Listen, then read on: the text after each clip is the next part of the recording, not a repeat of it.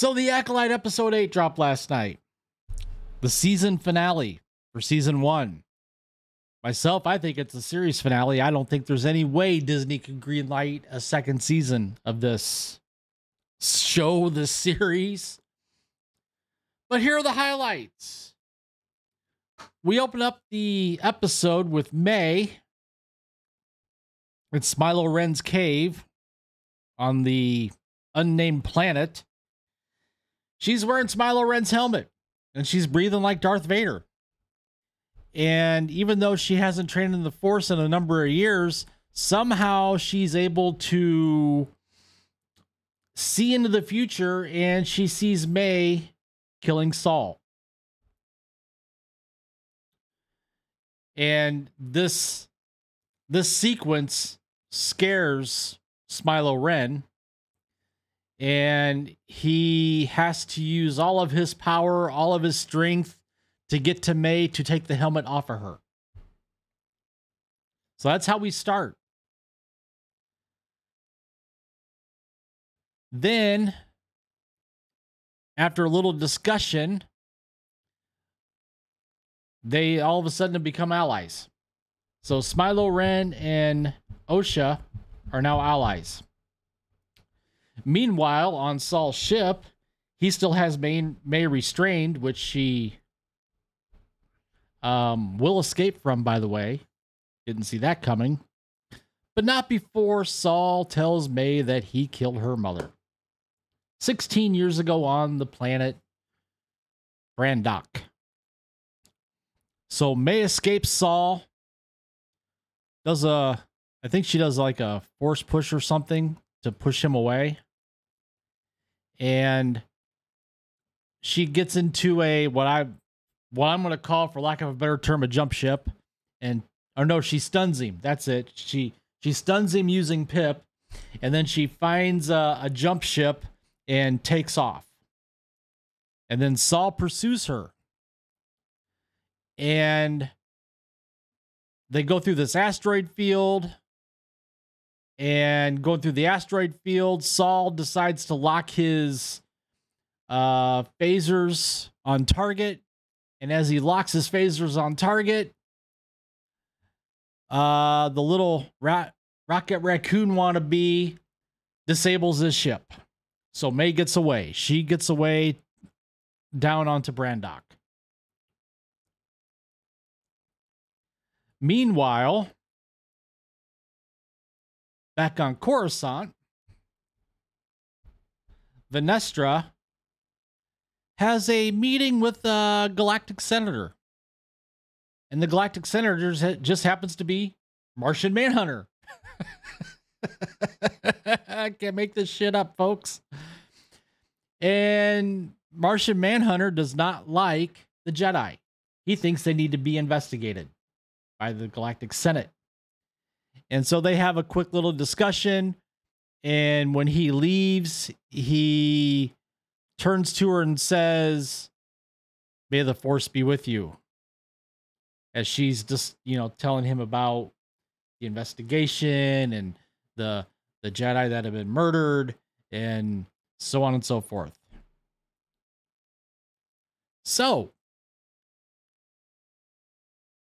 while that's happening,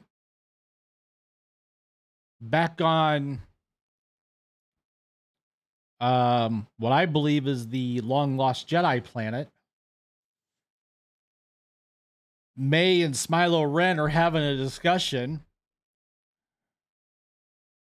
about one, why doesn't Osha come and train with him? And she turns him down. And two, why should they team up to go find Mae? And the discussion finally ends with um well we'll go together but we'll see who gets to her first.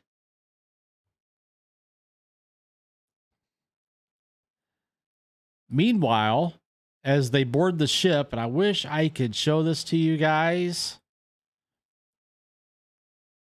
but from the cave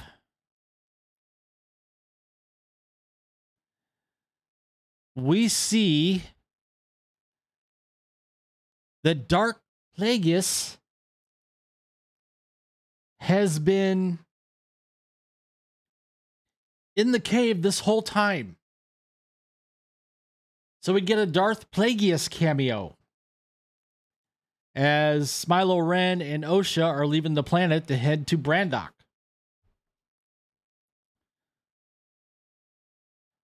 So now everybody's on Brendok. Now, one thing that happens before Sol leaves his ship is he turns on his beacon so the Jedi can find him.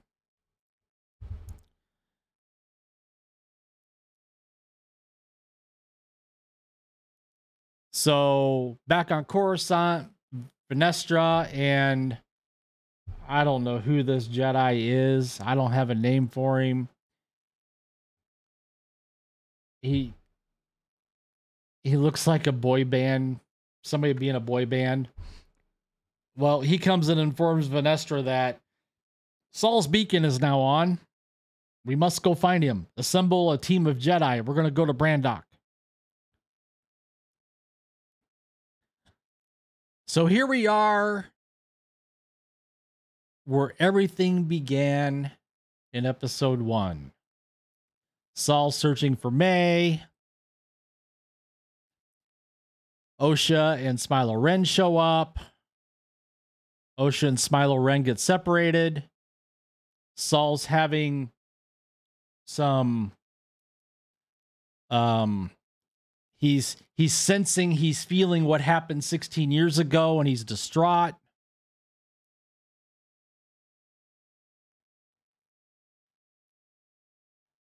Uh we get to where Mae goes up into Osha's room where she tried to burn her to death when she said she wanted to leave for and become a Jedi.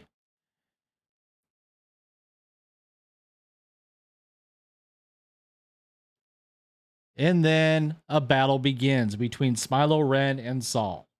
Now, I will say this. We don't have all the flippy flippy stuff that we do in um the prequels when it comes to lightsaber duels, lightsaber battles. However, two things. One, why doesn't Smilo headbutt Sol's lightsaber and disable it? That's what he did in episode, I believe it was episode four, when he murdered all those Jedi, took out a half dozen of them. And two,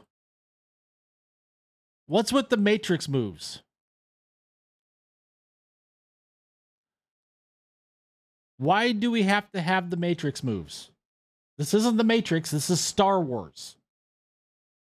Now, while Smilo and Sol are fighting, Osha finds Mae and they decide they're going to get into a little tussle. They're going to get into a fight. And their fight, well, both are expressionless. Um, it's basically a twin battle where they're using each other's moves at the same time while fighting. It's it's it, it's a horrible fight scene in my opinion. So at one point, Sol sees the Jedi ship and says something to the effect of, um, oh, what was it? They're here, or my reinforcements are here, or something to that effect. And Smilo Ren says, They're not here for me. So both battles are ensuing. Sol does take out Smilo Ren's lightsaber, by the way. And he's about to kill Smilo Ren when he is disarmed by Mae. A Jedi Master is disarmed by somebody who is probably a level 2 Force user, in my opinion. That does not happen in Star Wars.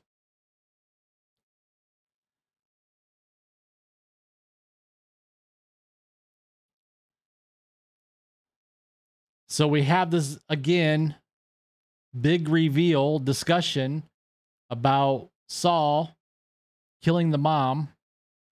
But this time Osha overhears it. Oh. And Sol's lightsaber is now on the ground broken.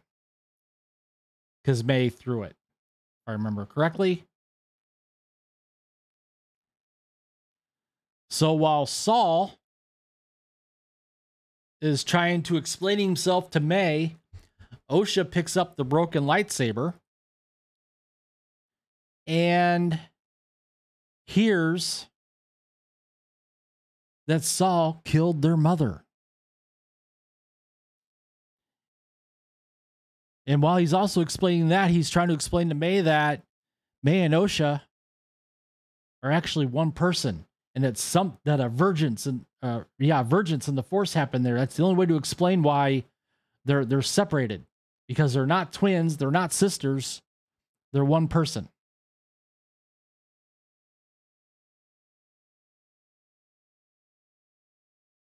So Sol tries to explain, I did this for you, Osha. I did this to protect you, Osha. And Osha, who again hasn't traded in the force in a number of years, does a force choke on Sol to get him to shut up, similar to what Anakin would do.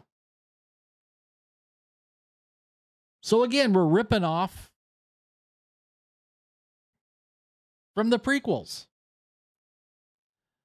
Well, Mae ends up murdering Sol. Now remember, the very first episode, I should say, Osha ends up murdering Sol. But from the very first episode of this series, Mae had to kill the four Jedi that were involved in the events of that evening without using a weapon. Well, Osha just did what Mae couldn't do or wouldn't do. Problem is, the Force is a weapon.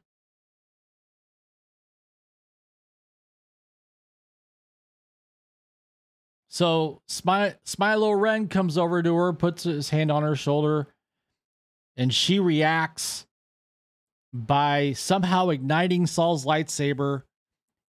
And while she's got the lightsaber pointed at Smilo Ren, the lightsaber turns red.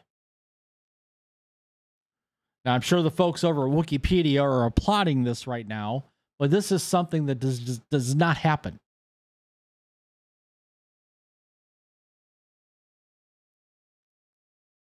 So I guess now Osha is the acolyte. She's the Sith.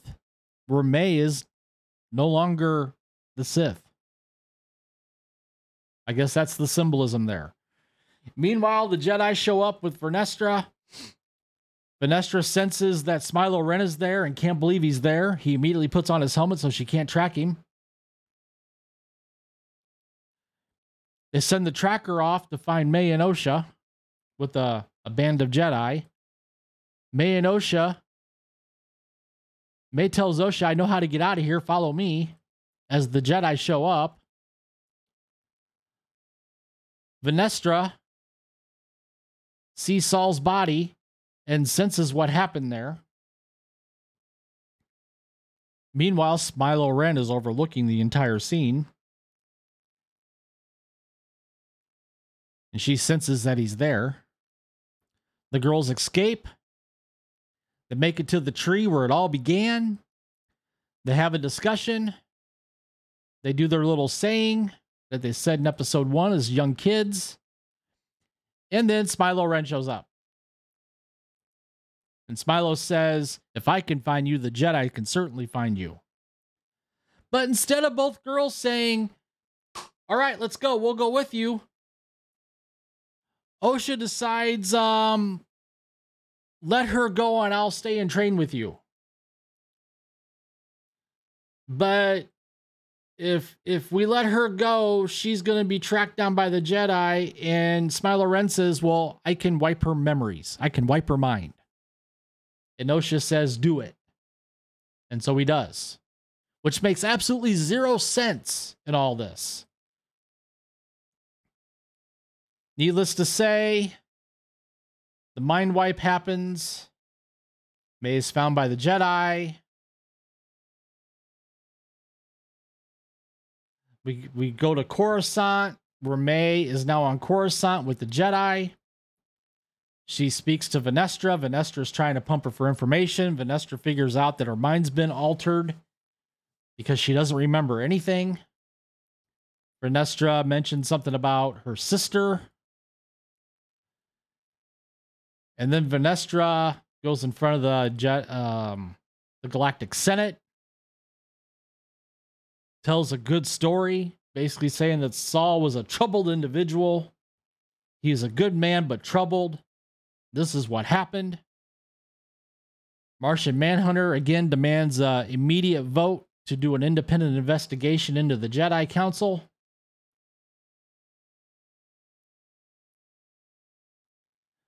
Uh, they show Vernestra doing the ritual of burning the body of a fallen Jedi. She again is talking to Mae. And then we get the the the, the finale, the final scenes where we have back on Smilo Ren's planet, which I believe is the Jedi, the long lost Jedi planet that Luke ended up in in the Disney Lucasfilm Star Wars trilogy. We get Osha just staring off into the into the sunset, into the water, holding Sol's lightsaber. And Smilo Ren walks up to her and holds her hand as they gaze off into the sunset.